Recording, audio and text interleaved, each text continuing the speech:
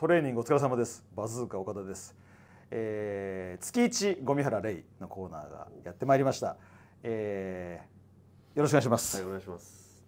7月にアジアボディビル選手権を控えて、えー、3月から減量に入ったということで、えー、今日はですね、えー、減量に入る時どうすればいいかという話をお聞きしたいと思います。これはボディビルに出てる選手出たい選手だけではなくて、まあ、一般の方のダイエットにも通じる部分があると思います。最初のね入りっていうのは結構難しくて、まあ、どんな心構えを持つといいのかどんな行動から変えるといいのかっていう話をまあ、今回の今シーズンの減量をもとに聞いてみたいと思います。よろしくお願いします。はい、お願いします。えー、7月の頭に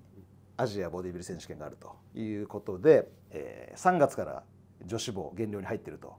いうことですね。はい、で何キロぐらい絞る感じの計算なんですか？今、えー、スタートが78キロからで、うん、おそらく68から70キロで仕上がる予定で。うんまあ、8から10キロということで、まあ、体重だけではないですけどね。一応目安として8から10キロを3456か月でというプランでいきますとい。うことで、まあ、月2キロだと8キロ、まあ、2. 点何キロで、まあ、10キロぐらいっていうことですね。はい。でまあ普通まあまあな普通のペースですよねそれは。毎年まあ月2キロぐらいで計算してると、毎年月2キロですね。ですね。ということで、えー、まだ減量を始めて1か月ぐらいというところで減量を始めた頃の感覚があると思うんでそこを聞いてみたいんだけど、まあ、多くの人は減量に入るのが大変だというふうに思います。私自身もそういう感覚があるんですけど、まあ、何度も何度もやってるうちにそれが全然苦にならなくなると。4シーズン上げた時はねやっぱスイッチ入れるのすごい大変だったんだけど最近は出まくってるから、まあ、なんてことはないなと思うんだけど一般の人は多分ね本当に入りが難しいと思うんでどんな風なアドバイスポイントがありますか？入る時。私もあの入る時が難しいと感じたことがないのであないそこに関してちょっとわからない部分があるんですが。うん、とということは、はい。うん、入りが大変じゃないってこと。だからゴミ原式をやれば入り大変じゃなくいけんじゃないかっていうことだよね。入りはスムーズに入れると思います。うんうん、私の場合は増量期っていうのをほとんど設けてないので、はいはい。これは悪いいことではないと思うんですが、あまり増えすぎることもなく無理やり食べてはいないと。食べてないです、うん、はい、増量期の食事スタイルはかなり、えー、柔軟な食事スタイルでお弁当も持たないですし、うん、で食べたい時に食べて、えー、食べたくない時はもうほぼ食べない、うん、1日1食で終わってしまうこともあったりするぐらいがオフの時期なんですが、なるほど。そこから減量に入る時にはまず私の場合はですが食事量が増えていくので、そういうえーまあ、だらだらとしたオフを過ごした後に食事の回数が今度減量期に入ると固定されてきて、うんうん。まあ、4回必ず食べるとか、うん、そんな感じで食事の回数が増えていく。なるほど。私の減量の最初の段階です一般の方に、はい、えー、当てはめて考えてみると、うん、まあ、日頃何も考えずに食生活を送ってるっていうのはまあ割と近いと思うんだよね、うん。はい、で一食の日もあれば、まあ、ちゃんと食べてる日もあるという感じからきちんと食べるようにする。ということで、えー、摂取カロリーが上がっていくと。そうです。でまあ、トレーニングも多分激しく、ね、なっていくから、まあ、摂取カロリーが上がっても消費カロリーも増えてて、まあ、そこは女子棒は、えー、遂行できるバランスになってるのかなというふうに思います。なのでまずはバラバラになってるところから食事が整ってないところからスタートっていう意味では全く一緒だとい。うことで、はい、で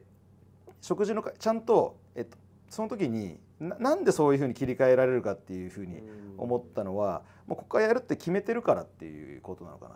それそれだけ？そう単純に。決めているからというのと、うん、あとはオフをダラダラしてるので、うん、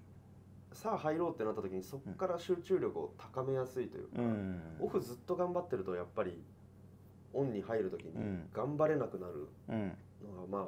私の場合はですが集中力なるほど、と意欲がやっぱり落ちてしまうのでなるほど。そろそろやりたいなみたいな なるほど。気持ちがやっぱりついてきて、うん、まあ、もう大まあ、大会だと一般の人には当てはまらないですが、うん、例えば夏に向けてとかで、まあ、そろそろやってもいいかなっていう感じぐらいの伸び伸び過ごした後になるほどね、まあ、そろそろだろうそろそろだろうと。い。う感じ、ちょうどそのサイクルがうまく回ってて、ストレスなくできてる、はい、このままだらだらやってるとむしろそっちの方がストレスになるかもしれないと、うん、いうこと多分なかなかこれは一般の方に当てはまらない状況かなというふうに思うんだけど食事をあもちろん参考にはねできるところあるんですけど食事を変える時に今まで適当に過ごしてたところを、まあ、いきなり弁当を作って持っていくように一気に変えるってことだよね。そうですね。割となるほど、はい、ここが今日あの話聞いててあなるほどと思ったところで、まあ、それができる人はそれがいいと私は思ってたんですよ。でも多くの人はなかなかできないから一気に変えなくていいと、うん、例えば1食食べる日しかない1食しか食べない3食食べる日もあるっていう人は、まあ、最低2食食べるようにしましょうとか、そういうところから始めましょうっていうアドバイスしたけど逆に一気にスイッチ入れちゃうとい。うパターンが合うってわけでね。ガンとスイッチ入れないと逆に、うん、なるほど。ダラダラしてる時の方が気持ちが悪いので、うんうんうん、中途半端な進行状況がね、はい、一気に変えた方がいいと。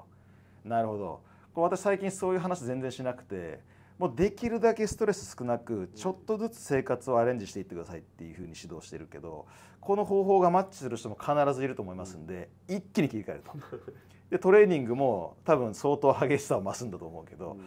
まあ、その切り替えることができる人がいるんであればもうだらだら切り替えないっていうのが今日新しいあの知見だったんじゃないかなと私は思います。普段ただパーソナルの時とか、お客様にはちょっとずつちょっとずつってこと、はい、うんそれは合う人合わない人そういうことだよね。だからこれは私も最近そういう発信してなかったんで、うん、ちょっとずつ変えるのなんか面倒くさいな岡田先生言ってるからそうじゃなきゃいけないのかなみたいに思わなくていいということで、うん、一気に切り替えるのも、えー、合う人がいるかもしれない。でダイエットをね途中でやめちゃう人のほとんどが早く結果が出ないからというのがあると。いうのはもうあのアンケート取ると明らかなので、まあ、このやり方したら多分ね一気に結果出てくるから多分そういう心配もないのかなと。そうですね。ちょっとずつ生活を変えると徐々に徐々にしか体は変わらないからなかなかすぐ結果出るっていう喜ばしい状況にならないからね。ということで一気に気持ちを気持ちも行動も一気に切り替えて一気に結果を出していくとい。う切り替え方。それに足るだけ十分好き勝手生きてきたということでね。そうですね。楽しく食べてこう制限されずに生きてきてというのがあるから波が作れて変えられる。変えられるとい。うことで、メリハリというのが、えー、ゴミ原式の、まあ、ここ近年の過ごし方ということでこれぜひ参考にしてみてください。例えば、えー、12月1月はもう捨てて十分食って楽しんだら2月からやるとか、うん、3月4月の歓送迎会が終わったらじゃあゴールデンウィークまで終わったらじゃあそこから切り替えるとかっていうことだよね。はい大会がない方はそんなあの日本の行楽シーズンとかに合わせて変えていただけるといいんじゃないでしょうか。ということで今日は、えー、月一ゴミ原レイのコーナーで、えー、減量に切り替える、えー、コツというのを伺い伺って、まあ、私も、えー、確かになと思うことがありました。ということでぜひ参考にしてみてください。よろしいですか？はい、はい、ということでトレーニングいってらっしゃい。ついに理想のサプリメントホエイペプチドが完成しました。このアンチドーピング認証を取るのが本当に大変で時間がかかってしまいました。その代わり筋肥大一連の流れをサポートする最強成分そして健康面安心にも配慮したものができました。もちろん私も飲んでいます。もうね元のサプリメントには戻れないという感覚でいます。ぜひ皆さん体験してみてください。そして携帯できる最強 PFC シッシックスパックプロテインバーもご好評いただいております。このバズーカホエイペプチドとともに筋肉のケアを万全に行えるものとなっておりますのでよろしくお願いします。さらにオンラインサロン公式 LINE そしてプロパーソナルトレーナーボディメイク検定ジム書籍など様々あります。ご自身のフィットしたものを選んでトレーニング頑張ってください。